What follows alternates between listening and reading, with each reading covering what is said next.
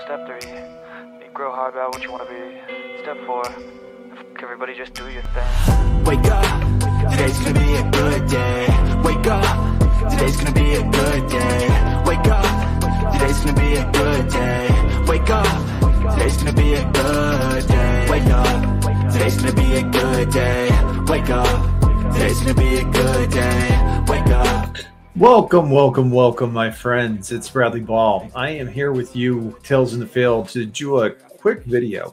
Uh, specifically, I've got a customer who's had a little bit of an issue. Uh, one of the things they want to do is they want to understand the best way to be able to stripe physical disk for storage in Azure. So stay right there, and that's what we're about to do. Right. I've got a VM provision, and the first thing I'm going to do is I'm going to come over here and I'm going to connect to it using Azure Bastion.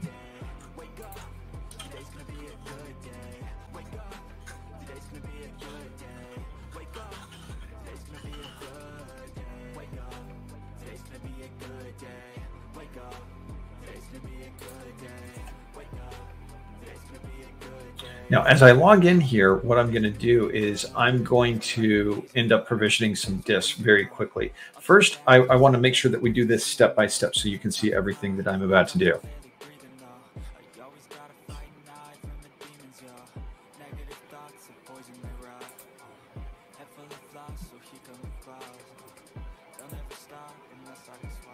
All right, we're connected to the VM.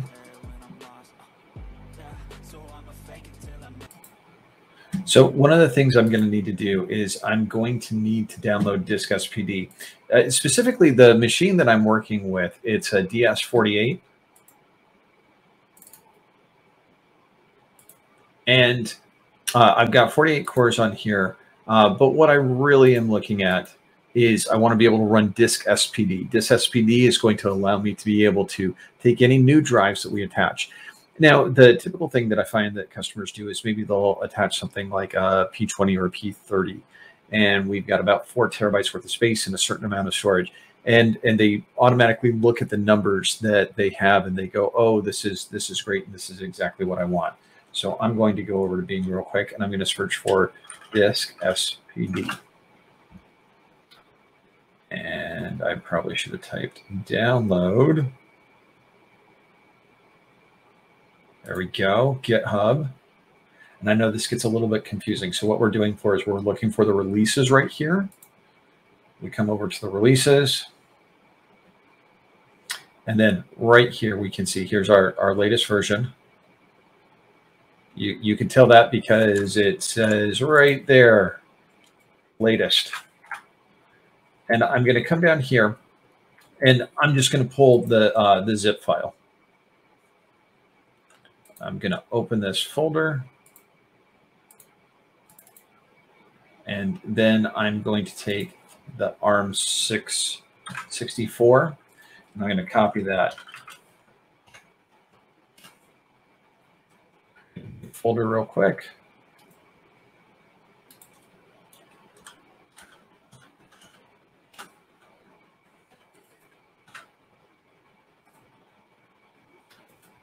In here, there's a disk SPD executable.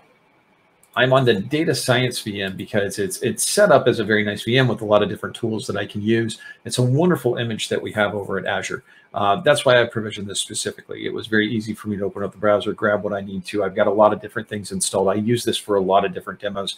In this case, though, we're, we're going to play around with storage. So I'm going to come over here, open up Command Shell,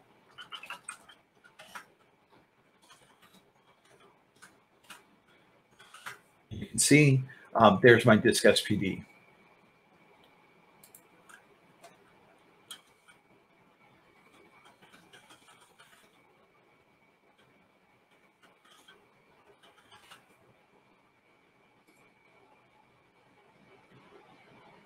Oh.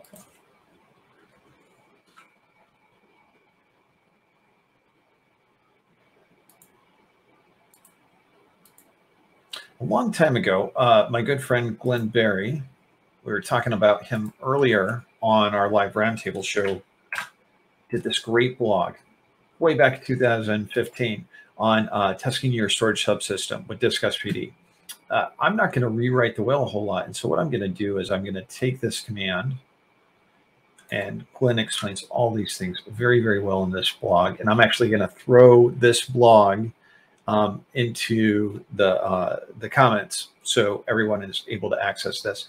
And I'm going to use this. I'm going to come back over. Only bad thing about Bastion, sometimes you get confused where you're at. Uh, I'm going to come back over to the desktop. Notepad. Now, the key thing to keep in mind is what we're looking at is we're looking at the writes. Now, SQL Server writes in 64K. This is 8K. Um, 64 is how we'd like these disks to be provisioned. So I'm going to do 64K right there. Uh, the threads are eight. We've got 48 available. We can leave this at eight, or we could ratchet this up to be able to see what the maximum is that we can do on our server. The point is when I run this, I want to be able to have all of this be the same for consistency. Uh, we're going to create a 20 gig file. Um, that's going to go for the drive. We'll change this here in a moment, and then the results will go to this. I'm actually going to append the drive letter uh, to the results, and it will write directly into the folder that we created where the exe resides. So let's go create some disks real quick. I'm going to do a couple different things. Uh, I'm going to come over here to disks, and I'm going to go ahead and create a new disk. We're going to call this disk zero. And we're going to make this uh, four zero. Let's see. Zero, um, 96. So we got four terabytes. And we're going to do none for host caching. Now, when you look at this, it's got um, 7,500 max IOPS and uh, 250 megabits per second. And that's what the numbers say, right? Trust but verify. That's the really key thing here. And what I'm going to do is I'm going to show how we can um, stripe a disk and we can actually get better performance for this. So we're going to do four more disks. I'm going to do uh, disk one. I'm going to do two, four. And we're just going to do this. And these are premium disk.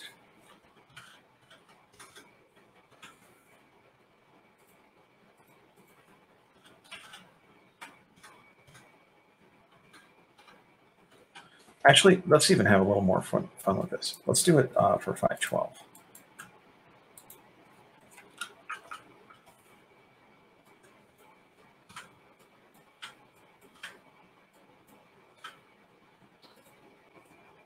So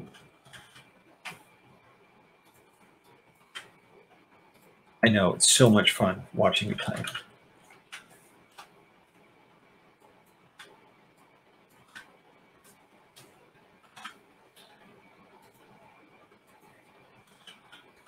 I managed to type in demo uh, in uh, in a video. So even though it's a demo, so this, this seven almost there because we're going to get up to four terabytes.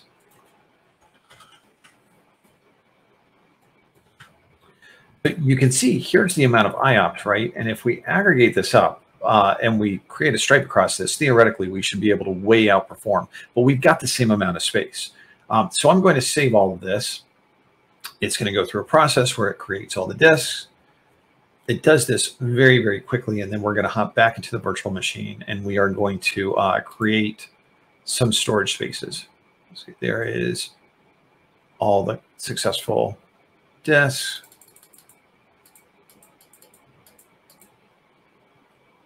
And it's going to update the virtual machine.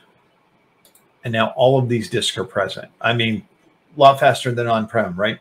Okay, so let's come back over to our Azure Bastion. We're going to go to the server manager.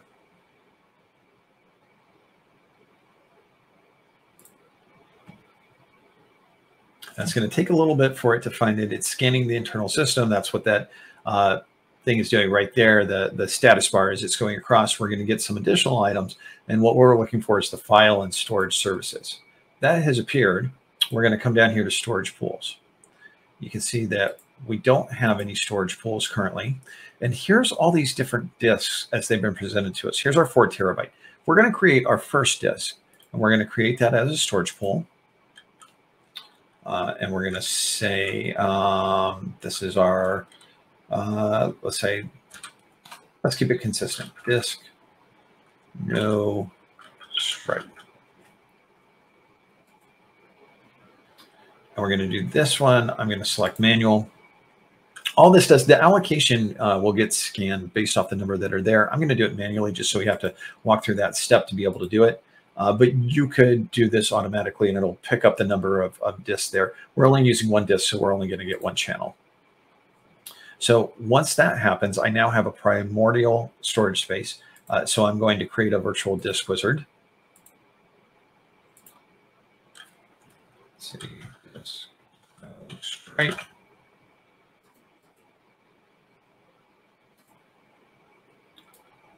Here's our storage layout. We're going to do simple. The reason we do simple is this is not really a physical disk. This is software as code. Um, if you lost these disks, what would happen is there would be a networking connection that would be severed within Azure between your compute and your storage, and then that would get restored and your storage would be there just fine. This is HDFS storage, three copies of everything, uh, redundantly stored. Again, this is not a physical disk. This is disk as code. So as they say in the Matrix, you think that's air you're breathing? Uh, you think this is a physical disk we're writing to? So we're just fine doing a simple layout for these physical disks. I'm going to come in here, the interleave size, I'm going to make that 64K. The number of columns, we only have one disk. This is the number of columns and channels that you have to be able to write to these things. Also, from a striping perspective, this is where it becomes powerful. This is also where if people eventually go to add more disks to a storage space, you can't increase the ch channels. You can only set this once. So this is set to one channel for the disk because we only have one disk. We're going to do fixed. We're going to do the maximum size. And we're going to create this. It's going to pop up another wizard. Uh, this is going to be a new volume. Pick our disk, the maximum size. This is going to go drive F. Works for me. Allocation unit size, again, for SQL Server, we want this to be 64K. Stripe. Just to make sure we know exactly where that, that we're running this against. This is going to format that volume. It's going to bring it online. It's going to give us the access path. All right. And now we'll have our F drive. Now we're going to come back. We're going to repeat the steps. This time, we're going to take all these disks and we're going to right click on them, do a new storage pool, disk with stripe. We're going to do manual across the board.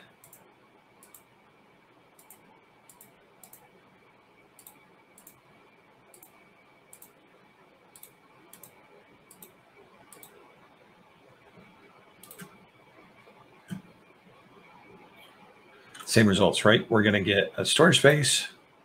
And now the disk with stripe, we're going to open up and make a virtual disk.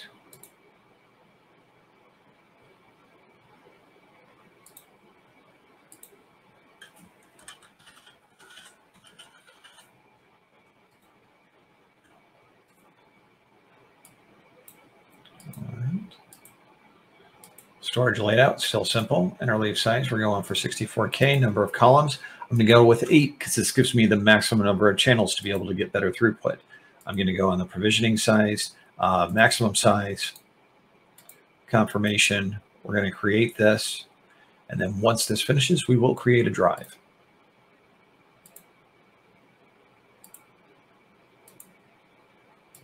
This will be our G drive. Again, 64K.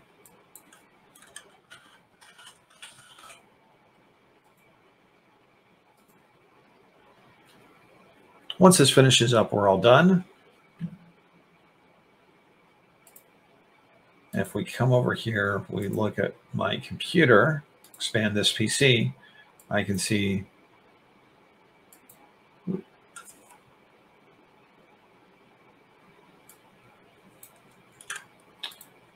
we now have our F and our G. You can see disk with no stripe F, disk with stripe G. So I'm going to edit this a little bit. I'm going to say we're going to test this directly on the F drive. I'm going to say F to speed results.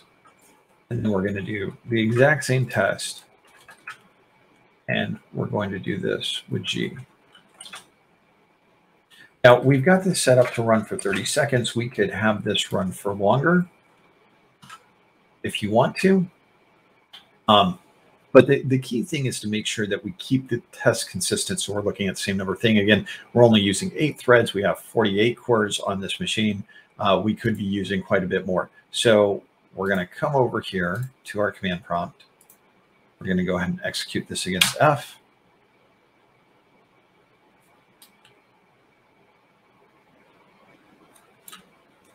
Let's see.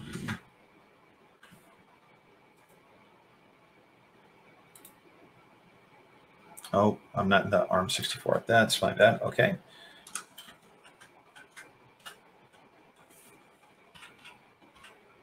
Now we're going to run against F. Oh, did I do the wrong one? I did the wrong one. Uh, I wanted AMD. Okay. So hold on, we'll come back here.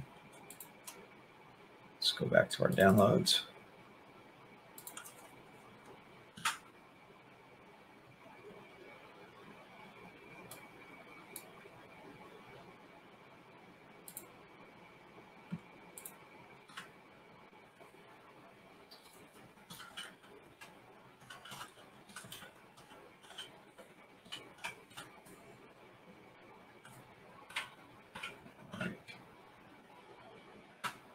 Take two.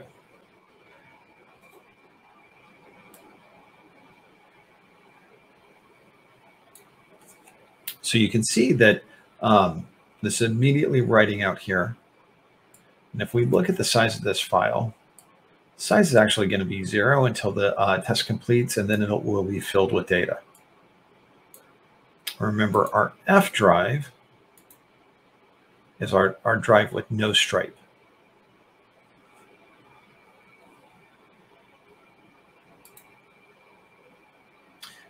All right, that's completed. Let's come back over here and grab our G drive.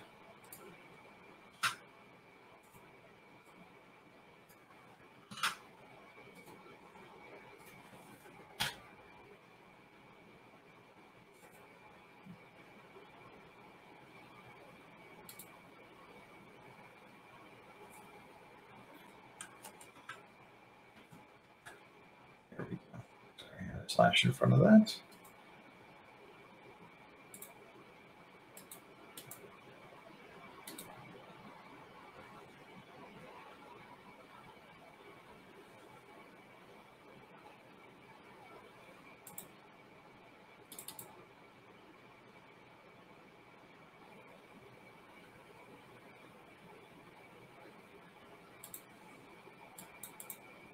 There we go. Sorry. So here's our, our F result in the AMD folder.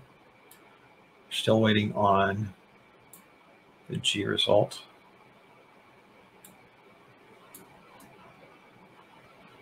Now we have the G result. Let's make this a little bit bigger, get some more real estate. All right.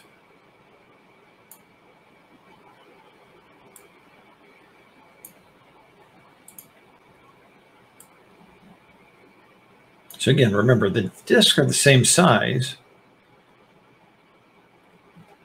but what we're looking for is what is the IOPS that we're getting? What is the level of performance?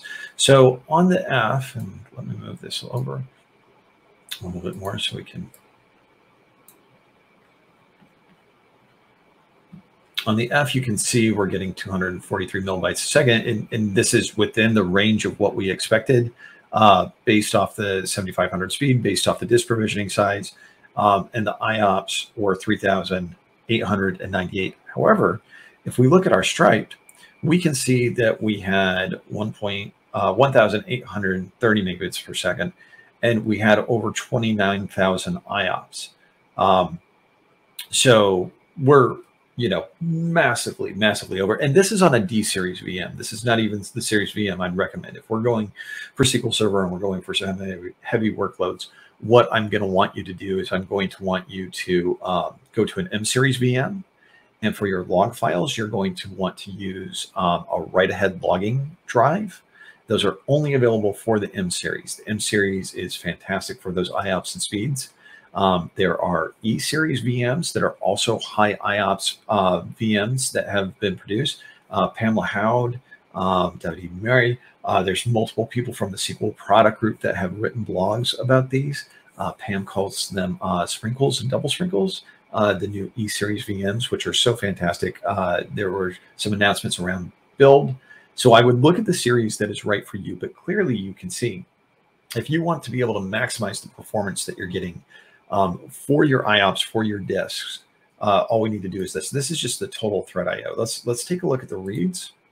Um, so looking at the reads performance, uh, this was 182, and you can see I have uh, 1,373, and then uh, the IOPS was 2,091, and we were at 21,978. Uh, when it comes down to the right, we are at 61 megabytes per second uh, 980 IO, um, and we were at uh, 456 and 7,312. One of the things I'll tell you to get the best write performance you possibly can, you want those write accelerated drives, the write accelerated logging drives on the M series VMs. Um, by far and away, they're going to be able to blow this speed away. But you only want to put log files on those. They're not meant for um, uh, for your your read write workloads that go with your data files. For those, you'll take drives just like we did here, um, stripe them together. And then the reason you do the SPD is you want to make sure that you're getting the best disk possible. Um, there's always going to be a standard deviation of disk performance. And what you have uh, in one might not be the equivalent that you have to another. And in the cloud, if you get a subperforming disk, what do you do? You delete that disk and you delete the storage spaces and you delete it from the uh, Azure VM and the disk portal and then you reprovision it. And when you reprovision it, you reformat and you test. You do all that before you begin working with SQL on the VM to be able to make sure that your IOPS is at the level that you know and expect. And you don't know what it is if you don't test these things. So this is critically important uh, to be able to make sure that you are successful. So once again, thank you so much for joining me. Um, really, once again, super simple. Let's walk through what the steps were we download disk SPD. That's over here at this GitHub location, and I will put this in the comments. Uh, we use the exact same thing, and we edit this uh, to be 64K, uh, and we use what was um, actually put on here. Actually, I apologize. Um, Glenn Berry put this on, and uh, and it was 2005, but still fantastic script. Glenn is just an absolutely wonderful, wonderful example of the great people in our SQL community. Again, um, thank you so much for joining us.